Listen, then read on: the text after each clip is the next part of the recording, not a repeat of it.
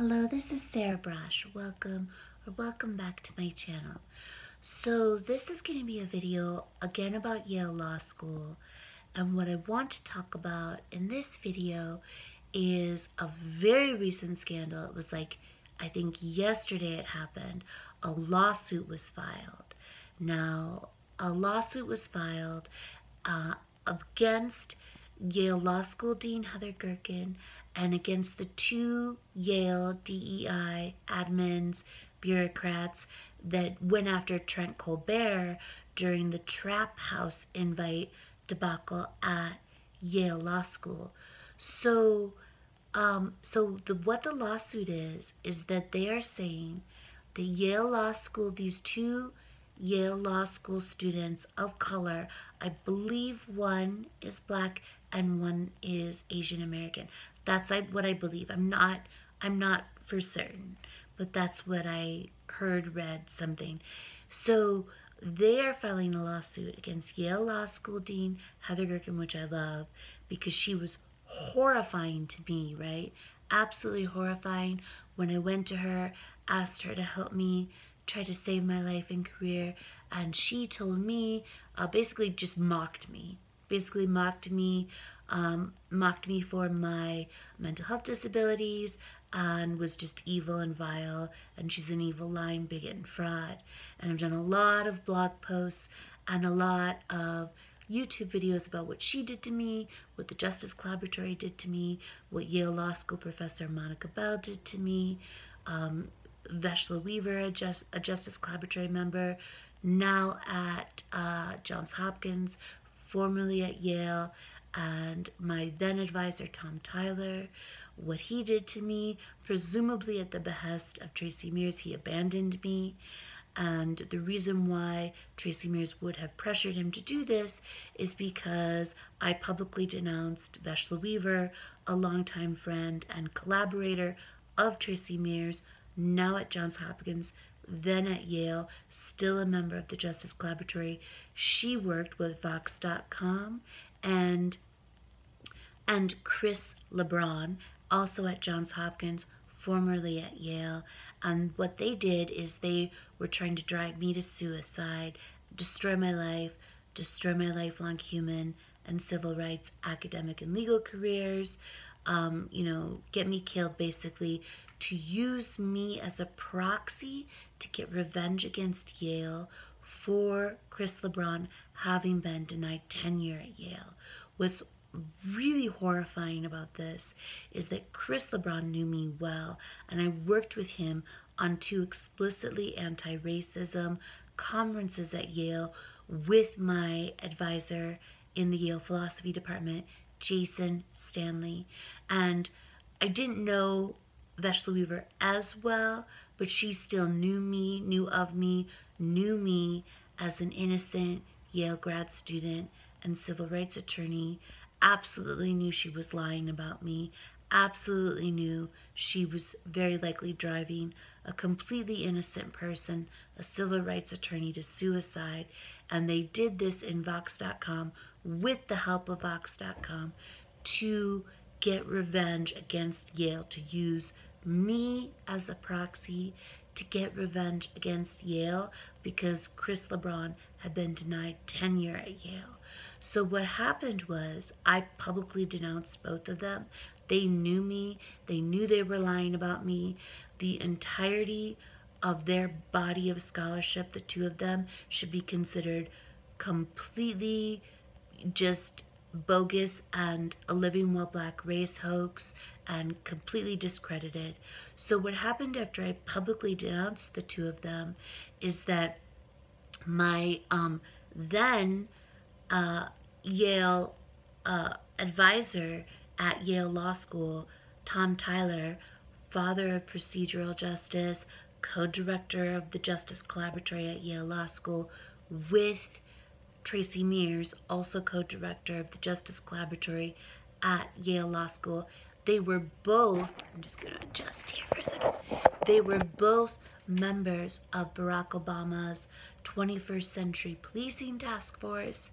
Um, so he was my advisor, Tom Tyler, and he absolutely loved me, loved my PhD dissertation, loved the project I was working on with him.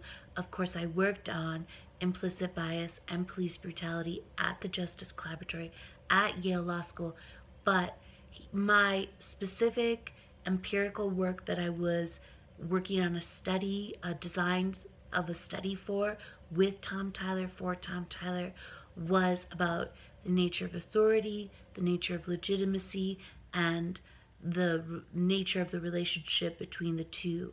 And so he was thrilled with that project. That was my project that I was working on with Tom Tyler at the Justice Collaboratory at Yale Law School as part of my Yale PhD dissertation, which I still consider to be my Saving the World project. So then, so Tom Tyler abandoned me. Tom Tyler abandoned me, presumably at the behest of Tracey Meares.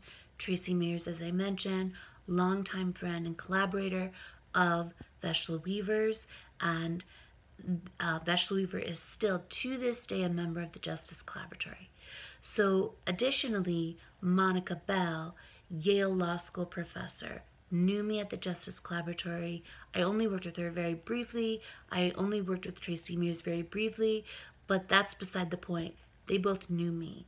They knew me as an innocent Yale grad student and civil rights attorney.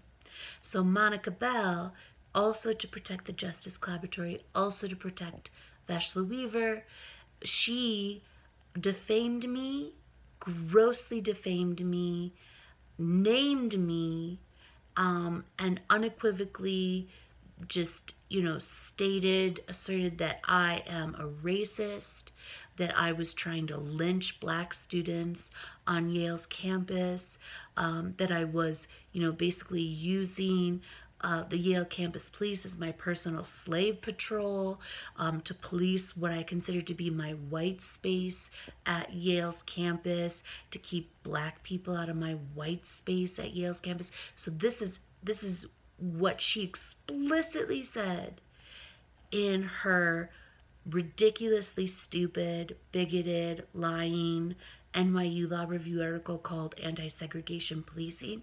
She did this to drive me to suicide and uh, to destroy my life, to destroy my lifelong human and civil rights, academic and legal careers, to silence me, to unperson me, to make sure that I ended up dead, to protect first and foremost Veshla Weaver and also the Justice Collaboratory, and also more peripherally uh, Tracey Meares and Tom Tyler and Johns Hopkins professor Chris LeBron, who had also been at Yale and who knew me as an innocent, you know, anti-racism Yale grad student. So um, after all of this went down, I went to Yale Law School Dean Heather Gerken, and I basically begged her, please help me, please save me. I also went to, I believe it's the president, or is it the Yale, or is it the, yeah, it's the president of um, Johns Hopkins. I believe his last name is Daniels. I went to him as well to complain about the gross abuse of me by Veshla Weaver and Chris LeBron was ignored. I went to Yale Law School Dean Heather Gerken to complain about the gross uh, abuse of me by Monica Bell, you know, in particular to protect Veshla Weaver and the Justice Collaboratory, uh, but also Tom Tyler and Tracey Meares. And um, because truly, what Monica Bell did defaming me as she did in the NYU Law Review article to drive me to suicide, to protect Veshla Weaver first and foremost, she knew me. It is it was grossly unethical for Monica Bell, Yale Law School professor and Justice Collaboratory member, Monica Bell, to name me and defame me in an NYU uh, Law Review article without which, yes, it is part of the get Sarah Braasch killed moral outrage industry that is so prevalent in U.S. law schools right now. There's a whole bunch of articles where I, you know, figure prominently as the central villain of the race baiting dystopian fantasies, which is a new genre of US law school journal article.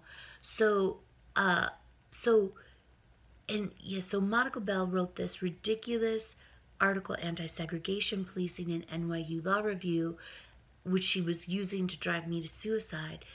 It was so grossly unethical of her to write this article and name me in the article and defame me in the article and try to drive me to suicide in the article without explicitly stating that she knew me and had worked with me.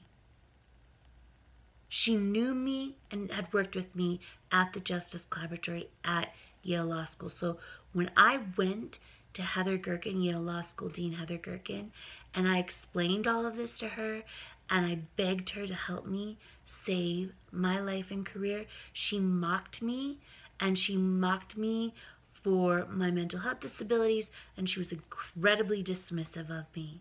So that's what happened to me. And so now, because of what is ha- what happened with this new lawsuit that was filed against Yale Law School Dean Heather Gerken and then the two Yale DEI admins. One, I believe, has the last name Cosgrove. The other one, I believe, has the last name Eldik. These are the two Yale Law School DEI and belonging. Can't forget about belonging. Um, Yale's new, you know, Maoist, vast Maoist bureaucracy for snitching on, you know, professors and students for racial harassment. Uh, that is named after me, named after a grotesque lie told about me by Lolade Siyonbola and Jean Louis Renneson during the what should have been perfectly obvious living or not being while black hate crime hoax at Yale. So, um, so what happened with this lawsuit then? It's very interesting, and now everyone knows I've always been telling the truth. So these two Yale Law School students of color, they are suing the two Yale Law School DEI admins plus Yale Law School Dean Heather Gerken. Makes me so happy, warms the cockles of my heart. Um, and they're suing them because the Yale Law School Dean Heather Gerken and the two Yale DEI admins tried to destroy the careers, the future career prospects, the current career prospects um, of these two Yale Law School students of color because these two Yale Law School students of color refused to help Yale Law School Dean Heather Gerken and these two Yale Law School DEI admins refused to help them destroy Yale Law School professor Amy Chua.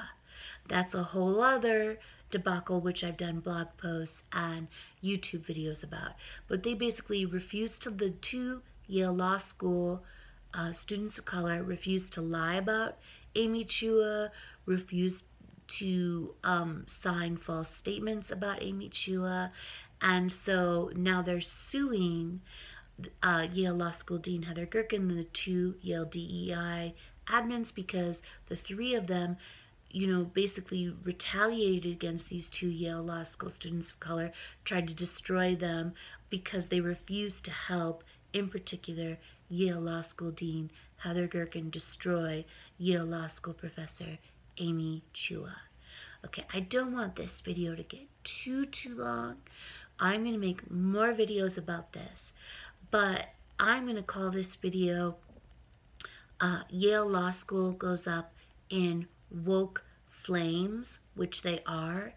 But the main point is that now everyone, everyone knows that I have always been telling the truth about everything that was done to me. And I'm not a dangerous psycho and I'm not delusional when I tell you that this is what Yale and Yale Law School and Yale Law School Dean Heather Gerken and Mo- Yale Law School Professor Monica Bell and the Justice Collaboratory and, and Tom Tyler and Tracey Meares and Veshla Weaver and Chris LeBron. This is what they did to me. And I am not crazy for, you know, telling you that. I'm just telling the simple truth of the matter, the simple facts of the matter. This is what was done to me. And now everyone knows I'm telling the truth. Everyone knows I'm telling the truth because this is what the Yale Law School administration is trying also to do to these two, you know, Yale Law School students of color, basically destroy them because they are getting in the way of the woke agenda, the woke tyrannical agenda of the Yale Law School administration. And they're getting in the way of the reputation of the Yale Law School. So they're just trying to destroy, you know, and they're basically just not doing what they want them to do. They're not helping them destroy Yale Law School professor Amy Chua. Okay, I will have all of my fundraising links below, the applicable blog posts below. Um, you know, I just, I love all of you so much. Thank you so much and have a great night and I will talk to you soon.